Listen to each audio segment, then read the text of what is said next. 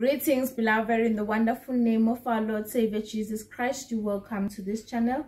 I am Sakhile. So God today is saying the Spirit has blown you to this direction. Hallelujah.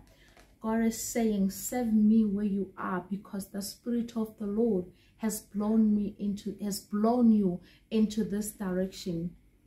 This message, when it was, this message, when it was revealed, I could feel that God is actually speaking. Hallelujah.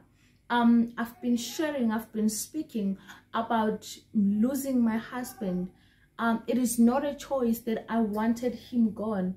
It is not a choice that I became a young widow, but the Spirit of the Lord has blown me into that direction. Hallelujah. There are things, there are encounters in your life which the Spirit of the Lord has blown you into that direction. You never wanted to see things happening in that way. You never wanted to, to move into, into such places, but the Spirit of God actually blown you into this way every time I thought worship was the thing I have to do. But now the Spirit of the Lord has blown me into this way, into this direction.